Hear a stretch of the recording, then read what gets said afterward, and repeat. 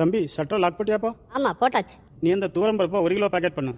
Magnet வச்சுக்க தராசில் சே இப்படி கொள்ளடிக்கிறாங்களே. என்ன சொன்ன? ஒன்றும் சொல்லலைண்ணே நான் மேக்னெட்டை தேடிட்டு இருக்கேன். அந்த டேபிளுக்கு மேலே இருக்கு பாரு. எடுத்து தராசுக்கு கீழே வச்சுட்டு சீக்கிரமா வேலையை பாரு. சரிண்ணே என்னங்க அந்த டூத் பேஸ்ட் எக்ஸ்பயர் ஆயிடுச்சு? இந்த கிராமத்தில் அதெல்லாம் யார் பார்க்க போறா? இந்த திண்ணரை வச்சு க்ளீன் பண்ணிட்டு மேலே வை.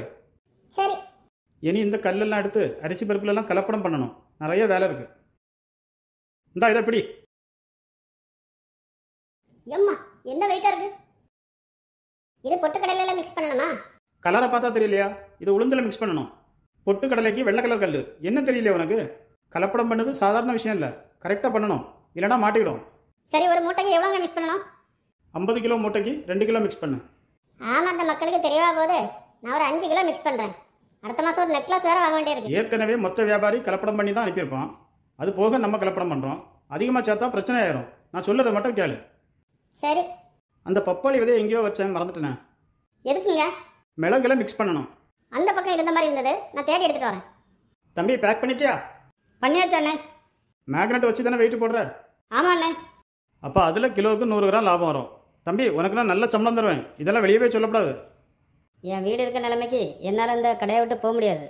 அதனால் நீங்கள் பயப்படாதுங்க. நான் யார்ட்டையும் சொல்ல மாட்டேன்.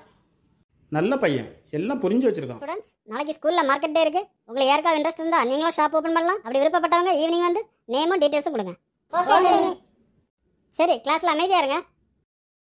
ராஜு நம்ம ஒரு ஷாப் ஓபன் பண்ணலாமா? மற்றவங்க கிட்டேயும் டிஸ்கஸ் பண்ணிக்குவோம். ஹரி அருண் எல்லாரும் வாங்க. ஒரு டிஸ்கஸ் பண்ண வேண்டியிருக்கு. நம்ம ஒரு ஷாப் ஓபன் பண்ணலாம். அதில் வரக்கூடிய ப்ராஃபிட்டை லைப்ரரி கட்டுறதுக்கு கொடுக்கும் நல்ல ஐடியா தான். ஆனால் அதுக்கு குறைஞ்சது ஐயாயிரம் ரூபாய் வேணும். நம்மளால முடியுமா? காசு பிரச்சனை இல்லை. நான் அப்பாட்ட கேட்டு நான் ரெடி பண்ணிடுறேன். ஆனால் என்ன ஷாப் ஓப்பன் பண்ணலாம்? ஏதாவது ஐடியா சொல்லுங்கள் ஐஸ்கிரீம் நோ அதுக்கு ஃப்ரீசர் வேணும். அது ரொம்ப ரிஸ்க்கு நிறைய ஸ்நாக்ஸ் வாங்கி வைக்கலாம். நல்ல ஐடியா தான். ஆனால் பேக்கெட் ஸ்நாக்ஸ் வேண்டாம். வேணால் நம்ம வேர்க்கடலை உப்பு கடலை பட்டாணி கடலை இந்த மாதிரி கடலை ஐட்டங்கள் வைக்கலாம். டிஃப்ரெண்ட்டாக இருக்கும். இதெல்லாம் நம்ம எங்கே வாங்குறது? நம்ம ஊரில் ஒரே கடை தானே இருக்குது அங்கே தான் வாங்கணும். ஆமாம் அவங்கள்ட்ட ஃபோன் பண்ணி சொன்னால் அவங்க ஸ்கூலுக்கே டெலிவரி பண்ணுவாங்க. Okay super. அப்போ நம்ம ஒரு லிஸ்ட்டு போட்டு ஆர்டர் பண்ணலாம். ஆர்டர் கொடுக்கும்போது ஒன்பது ரூபாய் ஒன்பது ரூபாய் பேக்காக பண்ண சொல்லணும். நம்ம அதை பத்து ரூபாய்க்கு சேல்ஸ் பண்ணணும். அப்போ ஒரு பேக்கில் ஒரு ரூபாய் லாபம் கிடைக்கும். சூப்பர் அருண். மொத்தமாக நமக்கு எவ்வளோ லாபம் கிடைக்கும்? ஐநூறு பொட்டலம் வாங்கலாம். அப்போ நமக்கு நாலாயிரத்தி ஐநூறுரூபா வரும். நமக்கு அது ஐயாயிரம் ரூபாய் விற்கும். ஸோ ஐநூறுரூபா லாபம் வரும். சூப்பர். ராஜு நிறைய பேக் பண்ணணும். அதனால் இன்றைக்கே ஃபோன் பண்ணி சொல்லிடு. ஓகே கடையில் ஆயிரம் வேலை இருக்கு. இங்கே என்னடா பண்ணிட்டு இருக்க? கொஞ்சம் டயர்டாக இருக்குது அதான் இங்கே வந்து உட்காந்துருந்தேன் மத்தியான நேரம் கஸ்டமர் யாரும் இல்லை. ரேஷன் கடையில் அந்த அண்ணா ஒரு மூட்டை சக்கரை தருவார். அது யாருக்கும் தெரியாமல் சைக்கிள் எடுத்துட்டு வா. வந்துட்டு ஸ்கூலில் கடலை பட்டணம் கேட்டிருந்தாங்கல்ல அது பட்டணம் போடு. சரிண்ணே. வாங்க தலைவரா என்ன விஷயம்? ஏதாவது ஜாமானதா வேணும்? ஜாமானம் ஒன்றும் வேண்டாம். நான் சும்மா ஒன்றை பார்த்துட்டு போலான்னு தான் வந்தேன். என்ன விஷயம்? நம்ம ஊரில் ஒரு படிப்பகம் இல்லை. அரசாங்கத்துக்கு எழுதி போட்டால் ஒரு பிரயோஜனமும் இல்லை. அதான் நம்மளே எல்லாரும் சேர்ந்து கட்டிடலான்னு முடிவு பண்ணியிருக்கோம். நல்ல விஷயம் தலைவரா நடக்கட்டும். சரி நீங்கள் ஒரு டொனேஷன் ஒன்று தரணும். நம்ம எல்லாம் சேர்ந்து தான் இதை நடத்தணும். அதுக்கு என்னய்யா கொடுத்துருவோம் ஏம்மா போய் ஒரு ஐம்பது ரூபா எடுத்துட்டு வா. இதெல்லாம் நான் சந்தோஷமா பண்ணுவேன் ஐயா. எனக்கு இந்த மாதிரி விஷயத்துல நல்ல இன்ட்ரெஸ்ட் ஆனால் முத்தையா பட்ஜெட் அஞ்சு லட்ச ரூபா. அந்த பெட்டி கடைக்காரரு கூட ஒரு ஐயாயிரம் ரூபாய் கொடுத்துருக்காரு. நான் உன்கிட்ட ஒரு ஒரு லட்ச ரூபா எதிர்பார்த்தேன்.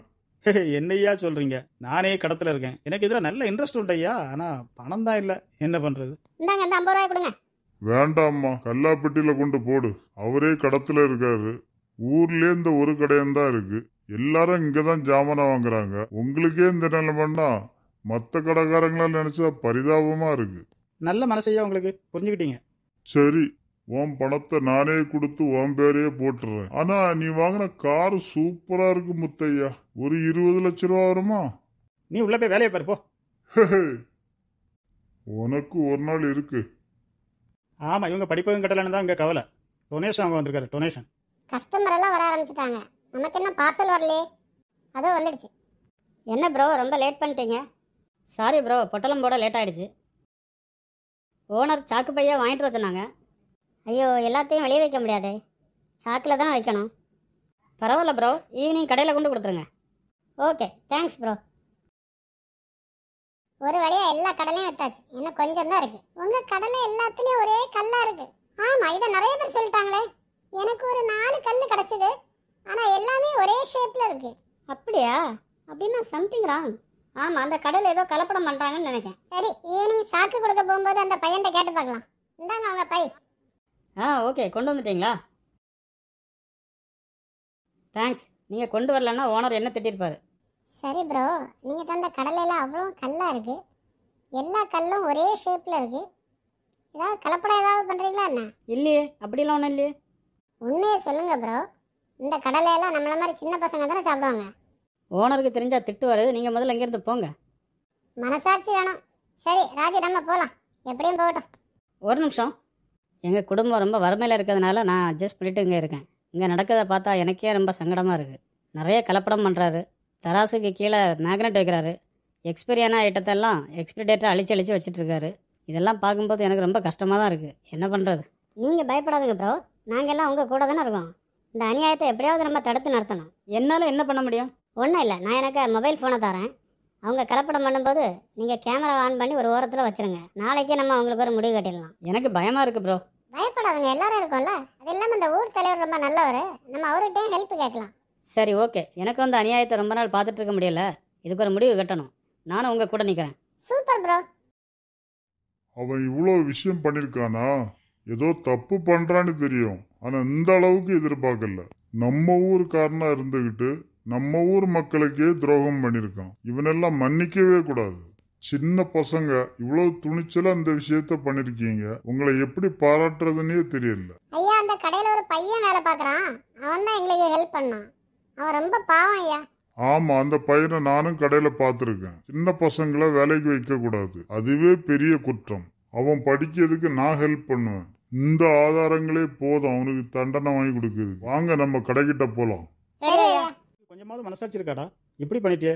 உன் குடும்பத்தை என்ன யாரு காப்பாத்துவா அதெல்லாம் நாங்க பாத்துக்கிடுவோம் ஆனா உள்ளூர்காரனா இருந்துகிட்டு உள்ளூர் மக்களே இவ்வளவு நாள் ஏமாத்திருக்கிறியே. என்ன மனுஷன் ஏன் நீ? ஐயா நான் பண்ணது தப்பு தான் என்ன மன்னிச்சிருங்க ஐயா. அதுக்கு பிராயச்சித்தமா லைப்ரரி கட்டதுக்கு நீங்க கேட்ட ஒரு லட்ச ரூபாய் நான் தரேன் மறுபடியும் தப்பு பண்ற பாத்தியா? உன்னை கண்டிப்பா சட்டத்துக்கு முன்னாடி நிறுத்தியே ஆகணும். நம்மளை சுத்தி இந்த மாதிரி நிறைய தப்புகள் நடந்துகிட்டே தான் இருக்கும். நம்ம தான் கொஞ்சம் கவனமா இருக்கணும். ஆமாம் ஐயா. போன வாரம் டவுனில் நாங்கள் ஒரு கிலோ ஆப்பிள் வாங்கினோம். வெயிட்டு போடும்போது நான் பார்த்தேன். அதில் ஏழு ஆப்பிள் இருந்தது.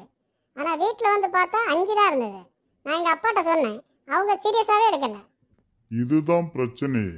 இந்த மாதிரி சின்ன சின்ன விஷயங்கள்னு சொல்லி நம்ம விடுறதுனால தான் எல்லா இடமும் கரப்ஷன் ஆகி கிடக்குது. எல்லா கடைக்காரங்களும் தப்பு இல்லை. சில பேர் இருக்காங்க. நம்ம அவங்க கிட்ட ஜாக்கிரதையா இருக்கணும். ஐயா நான் ஒரு சின்ன கடைக்காரன். என்ன நீங்க பிடிச்சிட்டீங்க. ஆனா இந்த கடையில இருக்க எல்லா பொருள்லையுமே கலப்படம் இருக்கு. இதெல்லாம் பண்றது பெரிய பெரிய முதலாளிங்க. அவங்கள அவங்களால என்ன செய்ய முடியும்? தம்பி முன்னாடி மாதிரி இல்ல. மக்கள் எல்லாம் கேள்வி கேட்க ஆரம்பிச்சிட்டாங்க.